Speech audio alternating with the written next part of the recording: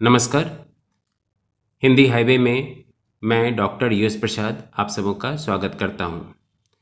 जैसा कि आप सभी जानते हैं कि मैं अपने इस कार्यक्रम में आपके साथ साहित्य पे चर्चा करता हूँ।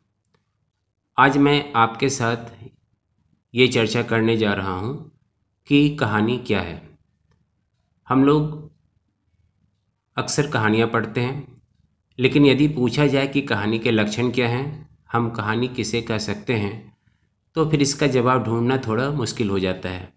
तो आइए, आज हम जानें कि कहानी क्या है, इसके लक्षण क्या हैं, इसके उद्देश्य क्या हैं, और इसके कितने प्रकार हो सकते हैं। कहानी या कथा शब्द का शाब्दिक अर्थ है कहना। इस अर्थ के अनुसार जो कुछ भी कहा जाए कहानी है, लेकिन वास्तव में ऐसा नहीं है। विशेष अर्थ में हम किसी विशेष घटना के रोचक ढंग से वर्णन को कहानी कहते हैं। कहानी के स्वरूप को परिभाषित करने के अनेक प्रयास किए गए हैं और अनेक विद्वानों ने इस बारे में अपने अपने विचार दिए हैं। प्रेमचंद ने कहानी के बारे में कहा है, कहानी एक ऐसी रचना है जिसमें जीवन के किसी एक अंग या किसी एक मनोभाव को प्रदर्शित करना ही लेखक का उद्देश्य रहता है। अज्ञे ने कहानी के बारे में कहा है, कहानी जीवन की प्रतिच्छाया है और जीवन स्वयं एक अधूरी कहानी है, एक शिक्षा है जो उम्र भर मिलती है और समाप्त नहीं होती। तो इसी बारे में जैनेन्द्र ने ये कहा है कि कहानी तो एक भूख है जो निरंतर समाधान पाने की कोशिश करती है।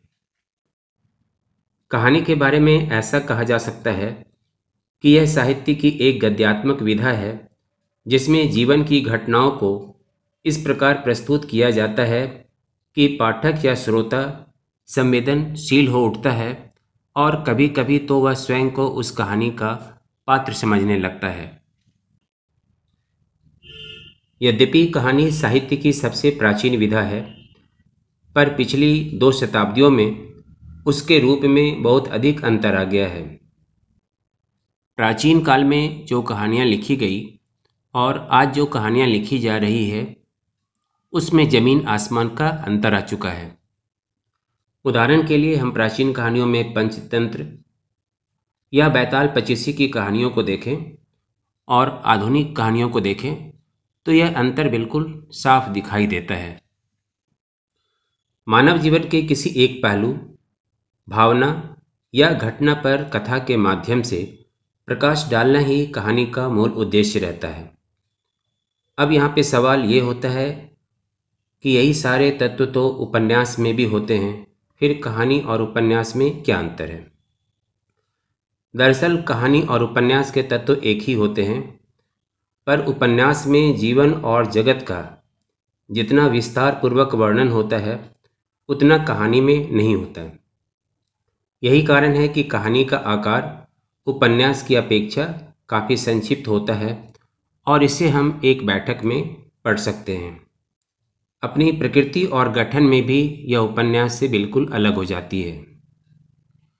आज लोगों का जीवन काफ़ी व्यस्त हो चुका है। लोगों के पास इतना समय नहीं है कि वे काफ़ी समय देकर एक उपन्यास को पढ़ें। इसलिए उपन्यास की अपेक्षा आज के जीवन में कहानी ज़्यादा चर्चित है। लोग कहानियों को पढ़ना ज़्यादा पसंद करते हैं। एकता और प्रभाव की तीव्रता ही कहानी कला की मुख्य विशेषताएँ हैं। अब हम कहानी के तत्वों की बात करें।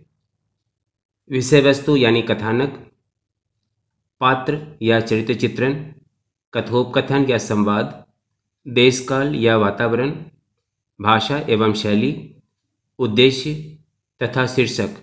कहानी के आवश्यक अंग माने गए हैं। यदि इनमें से एक भी चीज़ कहानी में नहीं है तो वह कहानी की श्रेणी में नहीं आ सकती। अब हम कहानी कला के विभिन्न तत्वों के आधार पर यह जानेंगे कि कहानी के कितने भेद किए जा सकते हैं।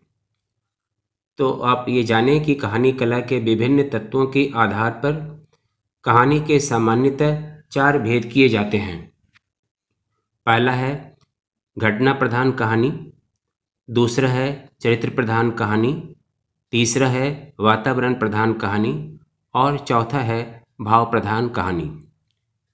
प्रतीकवादी या सांकेतिक कहानियों का एक वर्ग और भी किया जा सकता है। जहाँ तक कहानी के भेद की बात विषय की दृष्टि से है तो विषय की दृष्टि से कहानी के सामाजिक, मनोवैज्ञानिक, ऐतिहासिक, वैज्ञानिक, साहसिक आदि अनेक भेद किए जा सकते हैं। तो ये थे कहानी के बारे में कुछ जानकारी, जिससे आपको ये स्पष्ट हो जाएगा कि कहानी क्या होती है। कहानी का उद्देश्य क्या होता है? कहानी के तत्व क्या होते हैं? और कहानी के कितने भेद किए जा सकते हैं। अंत में कहानी और उपन्यास के बारे में मैं एक बात और बता दूँ कि कहानी और उपन्यास में एक बड़ा अंतर ये होता है कि कहानी अगर एक फूल है तो उपन्यास फूलों का गुलदस्ता है।